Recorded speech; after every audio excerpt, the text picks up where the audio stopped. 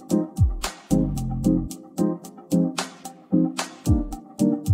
God, I look crazy. Seems really silly to update YouTube, but we're gonna go see if I'm in labor. I've been having my contractions about a minute long, five minutes apart. Actually, like less. And they're hurting pretty bad, but like I told Jeremy, I'm gonna feel so embarrassed if I'm hurting this bad and I'm not even like like a centimeter dilated because just Friday when I went, I wasn't, and it's only Sunday.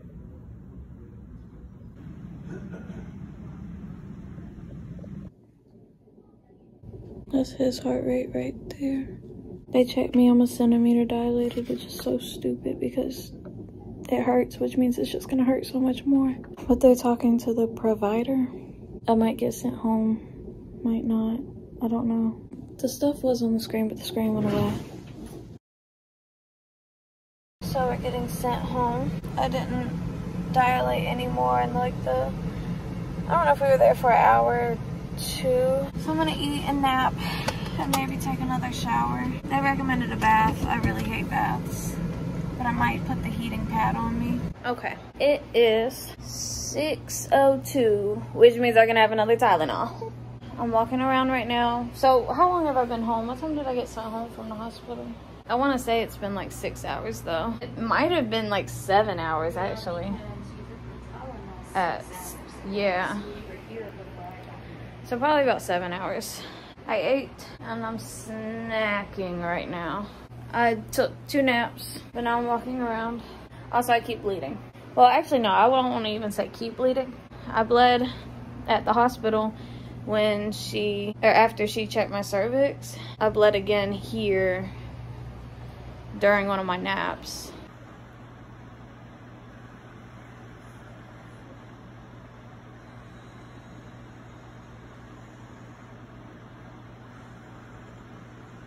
It is 7.17. I basically have gone, it was about like 7 this morning when I woke up, so I've been like having contractions for 12 hours.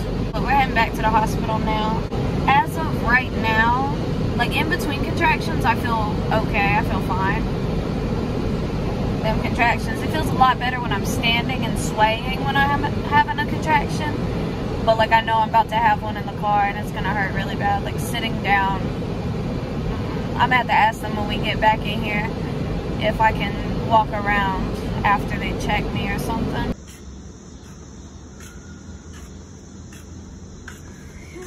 Yes, I am. We came back. They were monitoring my belly. And um, they couldn't tell if Jaxon was like like practicing breathing or something. I don't know. So I had an ultrasound, but it went well. Now we're done with the belly straps and I'm ready to go back home. I just got out of warm bath and I want to run another one, but I had to eat because I was starving. It's 8 a.m. We didn't get home from the hospital last night till like 4 a.m. 1.5 I'm so irritated. I did get offered morphine and Benadryl.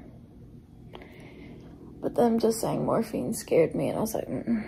Although now I'm kind of wishing I would have taken it. So I slept as long as I could, but I got woken up probably every 10 minutes. I don't know.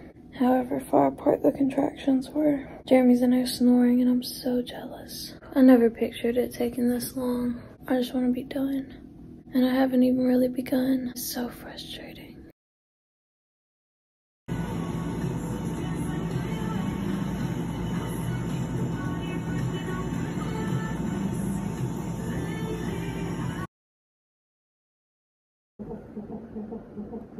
So we walked all day today around the hospital, which I think my mom has some videos of that. So, and then I went to get checked again and they were like, fuck it.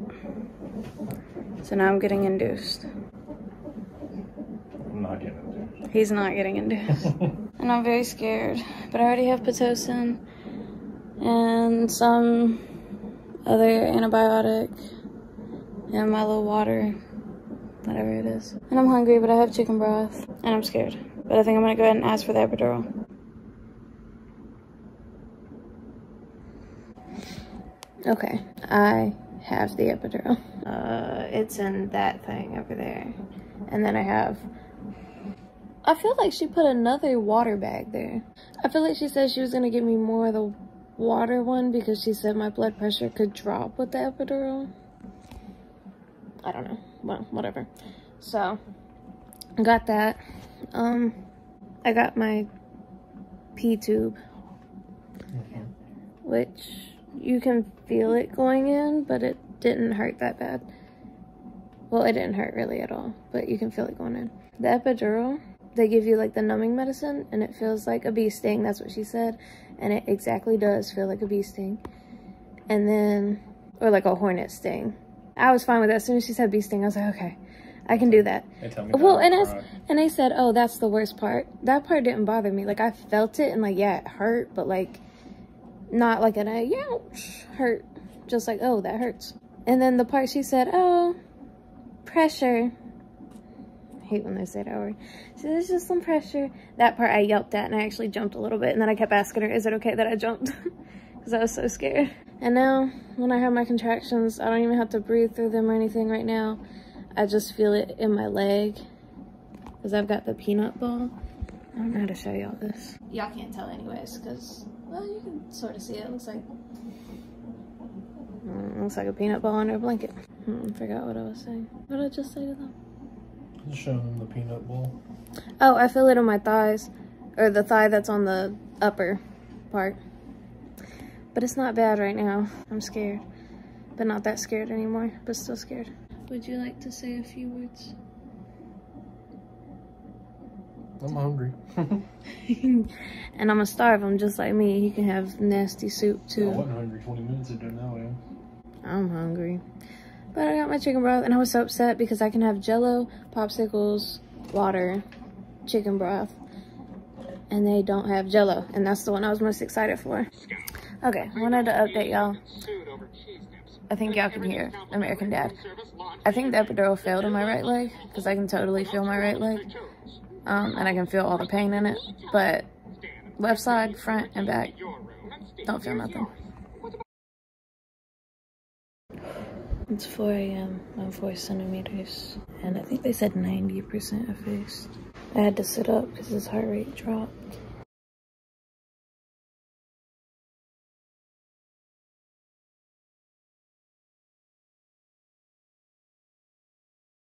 Welcome back. I am 6 centimeters dilated. He said 100% effaced. I think he said 100% effaced. And I think he's at negative two or negative three. I'm okay. My back hurts from laying in the bed, but that's pretty much all that hurts. And then I can feel pressure in him getting like lower, but that's not even painful yet. It's just pressure.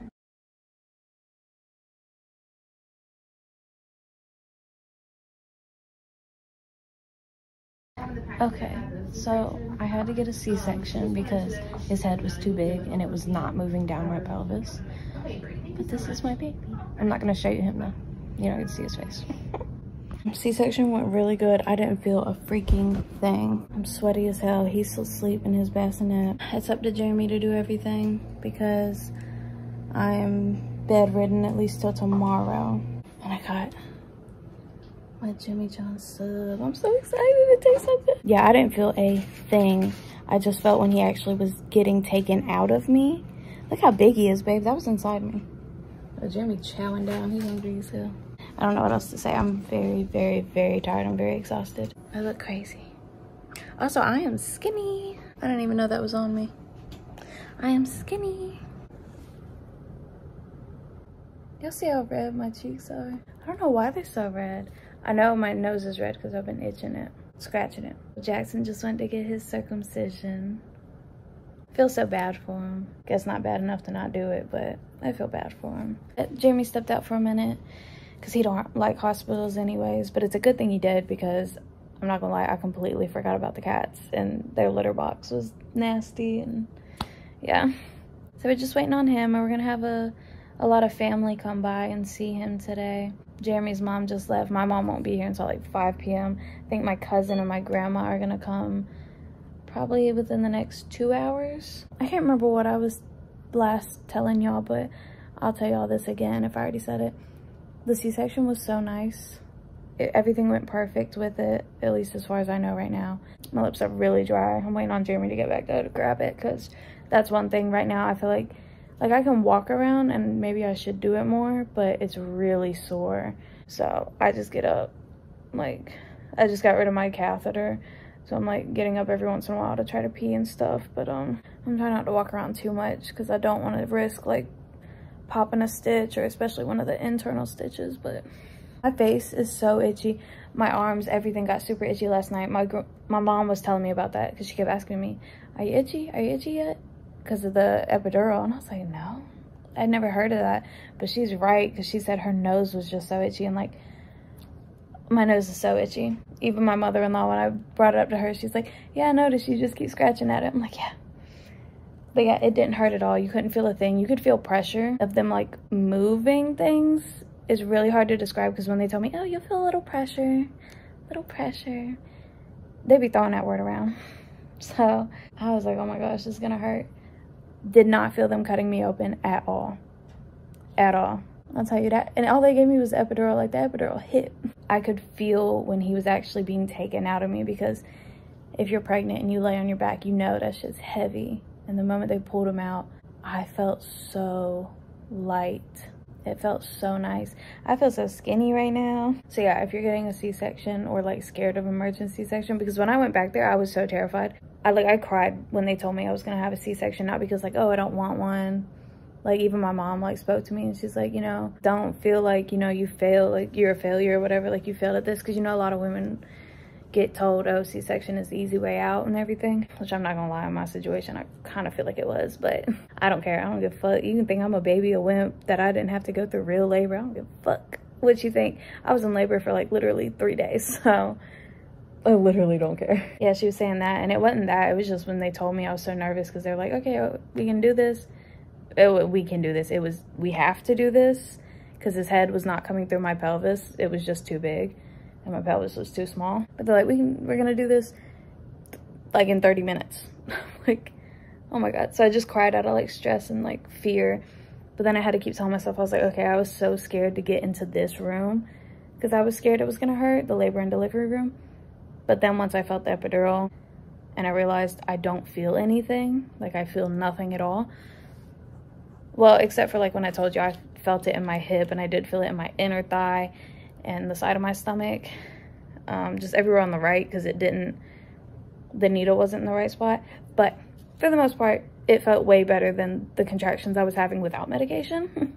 I was having like 50 to 75 contractions without medication. So when I got the medication, when I got up to 100 contractions, like the level, it, it was literally nothing.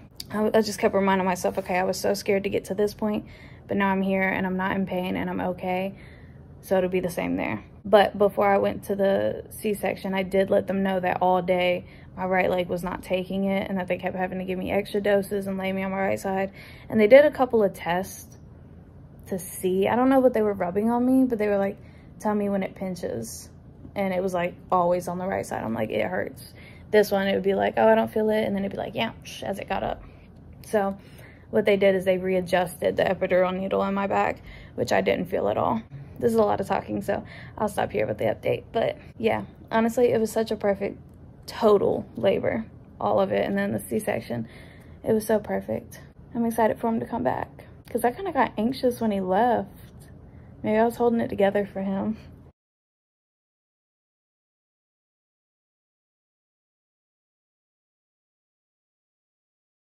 Would love to show y'all him, but I'm not going to because he's too cute and someone would definitely steal him. I was really happy with my C-section when I was still on the epidural and I couldn't feel anything.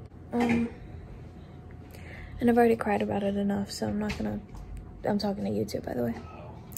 So I'm not gonna get crazy on here, but because of the C-section, there's a lot. Oh, hold on, babe. There's a lot that I haven't been able to do, like it's really hard to pick him up. It's really hard just to stand up out of bed now that the epidural and stuff has completely worn off. Like when my legs were still a little numb, I could get up and walk around. It was just a little sore. Now that my legs are completely back and like I can feel everything again, it kind of hurts. It hurts. It hurts. Not kind of, it hurts. I can't really lean over in the bed. Like I can barely sit crisscross applesauce. So I can't like change his diapers in bed. I can barely change his little swaddles and stuff. I gotta walk around like a grandma until I can like fully stand up. Pros and cons, but I just wanted to also put the cons in there because y'all heard me talk about the C-section right off the bat with hella drugs still in me, which felt really nice, but just wanted to clarify. Get them off.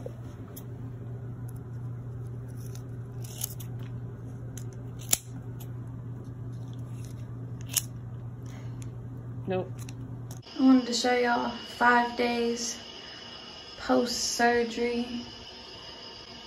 or whatever you want to call it, if you want to call it postpartum. Or, but it's so much smaller, it's so much lighter.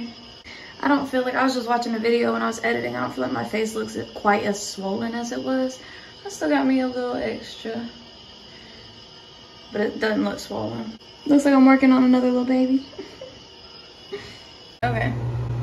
This is a two week update. It's gone down a little bit. I'm ready for it to be flat, flat.